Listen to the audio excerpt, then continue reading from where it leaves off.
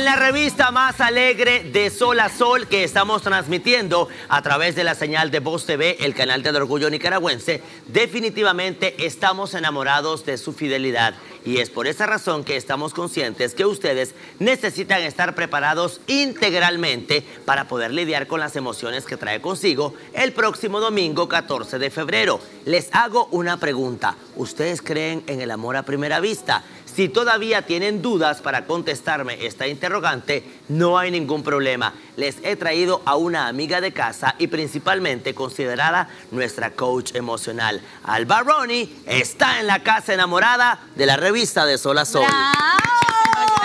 Gracias. Que la extrañábamos. Mira, bella. nos había perdido. Bienvenida. Bueno, yo siempre extraño estar aquí porque la paso tan lindo con esta gente tan bella, ¿verdad? Tan cálida. Y más hablando de un tema tan bonito como el amor a primera vista. Muchísimas personas dicen, eh, no, yo no creo en el amor a primera vista. O hay personas que dicen, a mí me pasa muy frecuentemente, ¿verdad? Que se viven enamorando por ahí, se tropiezan con la primera persona y dicen, ya estoy enamorado o ya estoy enamorada y se tropiezan una y otra vez.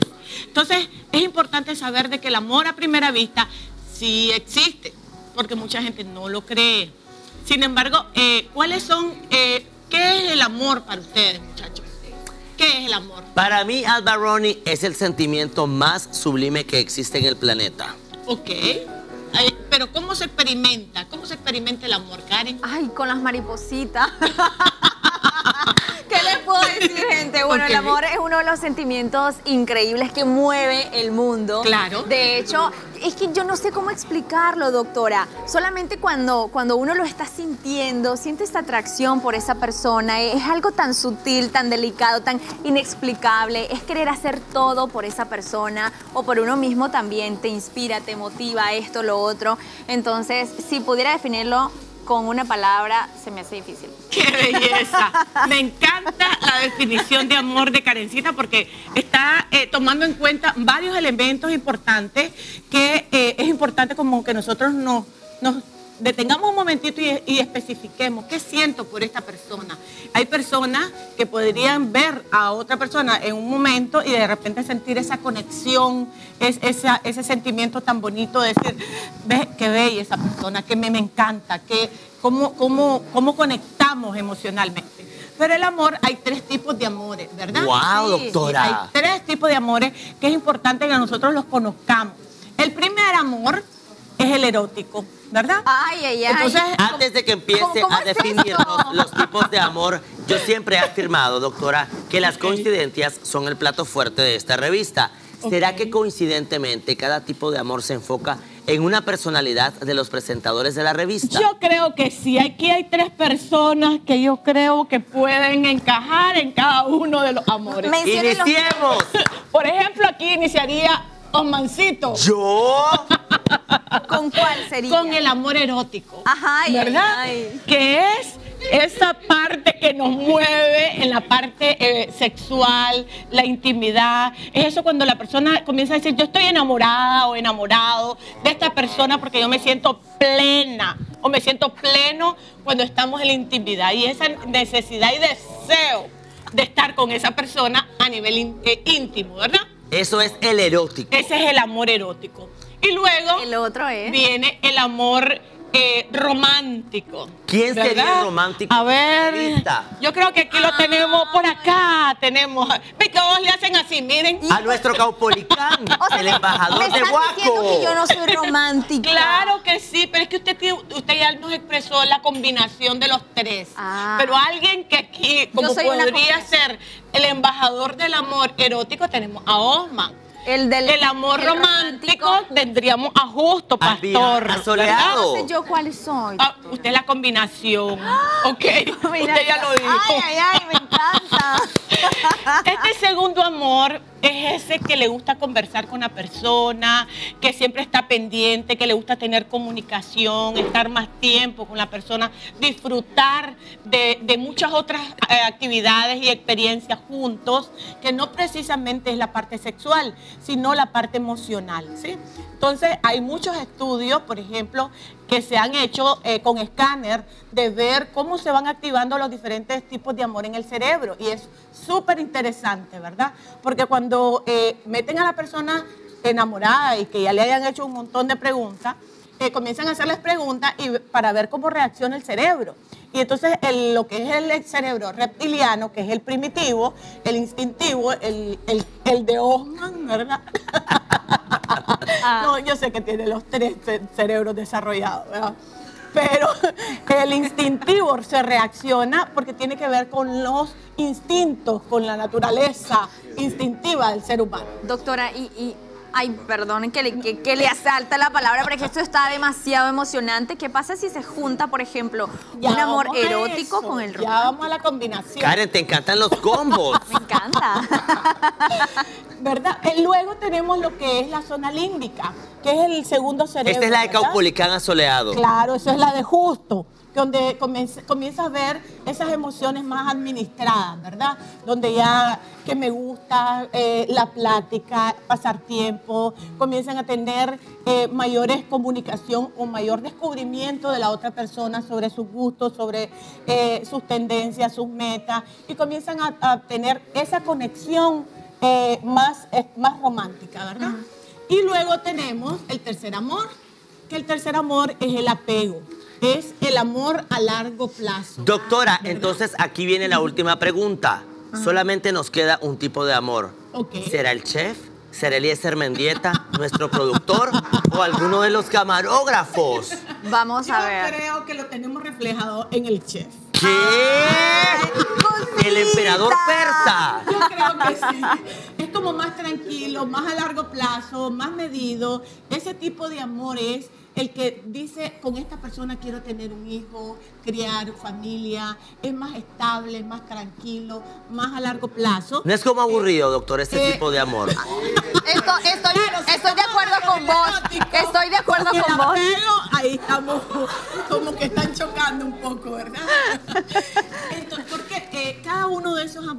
proporciona algo diferente, totalmente diferente, en esa motivación que decía Karencita, que uno es capaz de hacer cualquier cosa que te motiva, que te llena, que, quiere estar uno siempre, estar con la persona, etc.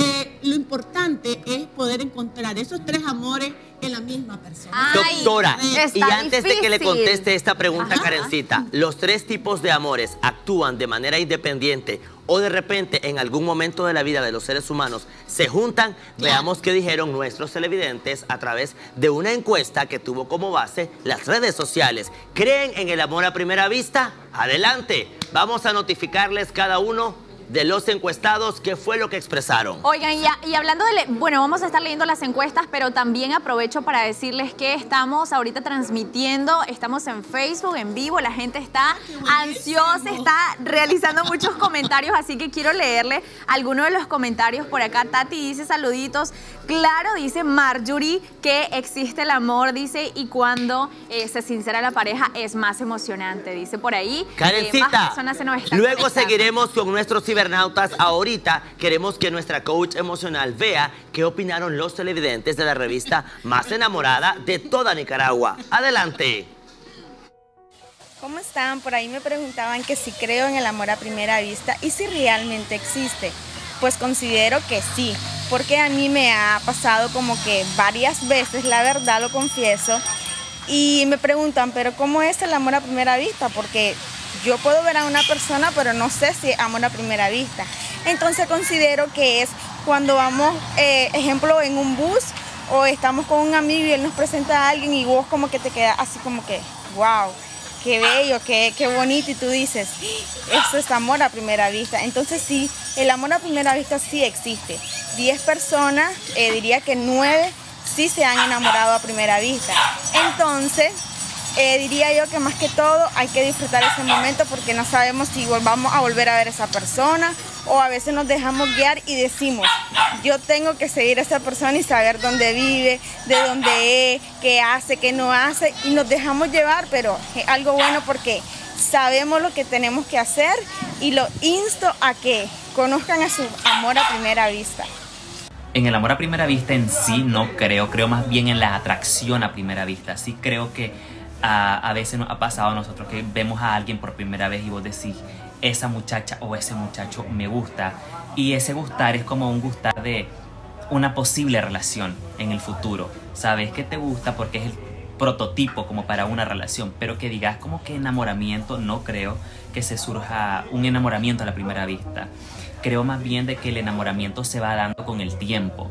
Obviamente hay situaciones que vos tenés que vivir con una persona, ciertos momentos que tenés que vivir con una persona para que vos te vayas enamorando de esa persona. Pero que vengas y decir que como que a la primera ya sentís enamoramiento, no lo creo. Creo que estamos muy arraigados a esa fantasía que nos ha creado el cine, la televisión, de que sí surge un enamoramiento a la primera vez, pero no. Más que todo es una eh, atracción a la primera vista. Eso según mi opinión. Si crees en ello está bien, pero más que todo para mí es una fantasía que nos ha creado los libros, la televisión, el internet, todo pues nuestro espacio que consumimos nosotros. Hola a todos, soy Kenneth Escorcia. Eh, referente a la pregunta, considero que no existe el amor a primera vista, sin embargo sí considero que existe eh, una muy fuerte atracción en una, una, primera vez, la primera vez que dos personas se observan eh, y que después de eso pueden hacer pues una, una gran historia. sí, considero que existe una atracción bastante genuina en una primera vista, sin embargo creo que la palabra amor tiene una connotación bastante fuerte. Quiero confesarles que estamos enamorados de cada una de sus respuestas. Gracias por colaborar con nuestra encuesta. Este tópico es bastante amplio, coach. Doctora, el amor a primera vista dura. Oh, súper pasaje. Estamos hablando de que el amor a primera vista es, una emoción, es, una, es, el instinto, ¿verdad? De qué guapo, qué lindo y yo quiero conocerlo. Y no es el segundo amor. Eh, a ver, cuando hablamos del primer amor, pues perdón, del amor a primera vista estamos hablando del romántico. Yo quiero estar con esa persona, yo quiero, eh, sería el amor de, de, de justo. De Caupolicán. Sí, sí, que es conversar, es querer estar con la persona, estar eh, conectado con esa persona, saber qué es lo que hace, etcétera. Entonces, este amor tiene una duración específica, o sea, después de lo que le llamamos el enamoramiento, la primera etapa, que, puede pasar desde los seis meses a los dos años, que es cuando ya se desactiva todo lo que son en el sistema nervioso central, estas, hormonas, estos neurotransmisores, comienzan a activarse si es que comenzamos a construir el siguiente amor, que es el amor a largo plazo el apego que ya queremos construir. Entonces es bien importante saber que si nosotros eh, estamos, tenemos un amor a primera vista, pero queremos algo a largo plazo con esa persona, no descuidemos este, este segundo amor. Porque el primer amor pasa rápido, ¿verdad? Una vez que tienen toda su, su vida sexual y todo, jamás sustituyen nada de su vida que eh, con respecto a la vida sexual, a menos que tengan un amor romántico también, que puede encontrar dos en la misma persona. Hay personas que tienen sus, sus tres amores. O sea, yo conozco personas que se han conocido, se, se, atrajeron y ahí tienen 20, 30 años de matrimonio. Bueno, tres amores en la misma persona, ¿oyeron? No es que tres amores en diferentes personas. Que también pasa muchas veces, ¿verdad? También. Que hay personas que tienen dos o tres relaciones paralelas eh, porque encuentran en cada una un amor diferente. Doctora, ¿quiere decir entonces que todas aquellas personas que ya se formalizaron con una familia y actualmente están casados tuvieron que experimentar los tres tipos de amor? Eh, no precisamente, el segundo sí, que es la atracción, la plática, el querer conocer, el querer estar, porque para dar un paso de lo que es el matrimonio debieron haber creído que estaban enamorados, ¿verdad? Sin embargo, eh, la parte sexual eh, yo creo que es tan, pero requete importante eh, en lo que es la, vida de una pareja. Creo que eh, para mí es más del 50% de importancia la vida sexual que el resto de la relación. Entonces, muchas personas podrían rápido terminar lo que es el amor er, erótico, pero sí mantener el amor romántico para poderle dar oxígeno y poder recrear la parte erótica en la relación. Eh, pero sí, tenemos que aprender a cuidar y a saber eh, cultivar lo que es el amor romántico para que pueda llegar a largo plazo junto con el, con el amor del apego. O sea, de cuando las personas comienzan a construir su familia, ven a sus hijos crecer, el poder hacer equipo en lo que es la educación de su familia, proyectos eh, económicos, proyectos sociales, proyectos de toda índole. Entonces, es bien importante cuidar los tres amores en una misma persona, porque muchas veces no nos damos cuenta que descuidamos uno de los tres amores y, como digo yo, el diablo entra por debajo de la puerta, ni cuenta nos dimos, ¿verdad? Karencita, Ay, aprovechando ay, ay. la visita de la doctora Albaroni, te tengo una excelente sorpresa. Vamos a ver, dígame. Este viernes a las 14 horas me corresponde ser el anfitrión de la hora enamorada. ¿Vas a hablar y el de- tópico que me del amor erótico? es ¿Cuáles serían Ah. los consejos básicos y prácticos para que este 14 de febrero celebremos con orgullo nicaragüense esta efeméride? Entonces la convertí en mi aliada estratégica y vamos a crear las 14 leyes del amor contextualizadas a la realidad nicaragüense. Así que Así- prepárense. Ahí vamos a estar. 14 Trato leyes, hecho. con, esa 14, con esas 14, dice una pareja, no fui. Yo sé que el 14 Sí, es tu sí, número sí, sí, favorito, no me mintas. Así es, Osmancito. Total. Así que ustedes ya saben, pendientes de la hora enamorada en punto de las 14 horas. Yo creo que es un tema súper amplio, doctora. Sí, es un, Muy tema muy lindo y, y sobre todo cuando, porque la, la, eh, se dice que el problema mayor a nivel mundial o eh, las causas de muerte ya, ya no es ni el cáncer, sino el suicidio. Y el suicidio y, y la depresión que lleva al suicidio eh, se da a través, la, la causa eh, fundamental son problemas de pareja. Entonces, ¿qué importancia tiene lo que es este tema del amor y de los apegos y, del, y de todo este estos temas tan amplios que tienen que ver con el amor y la estabilidad de las personas. Entonces, ojo, estamos hablando de que el segundo problema más grande en el mundo son los problemas de pareja. Este asunto del amor nos mueve tanto, podemos cambiar toda nuestra vida, como dijo Karencita, es el que nos da el motor de todos los días y nos hace movernos a, cierta, a cosas que a veces ni nos imaginábamos que íbamos a hacer. Increíble lo que hace el amor, gente. Así usted es. decide o la convierte en buena persona o saca lo peor que hay dentro de usted. Ay, ay, ay, cuidado con eso. Ay, nos tenemos que ir. Gracias a toda la gente que estuvo conectada con nosotros en las diferentes redes sociales. Ay, nos disculpan que no logramos leer todos sus comentarios. Sí nos decían que una de ellas, de hecho, Tati nos decía que ella conoció a su esposo a primera vista y, y que siguen juntos. Eso, Eso, es eso hermoso. es. Muchísimas felicidades. Por muchos años más. Nos vamos a una pausa comercial. Quédense con nosotros en su revista. De sol a sol.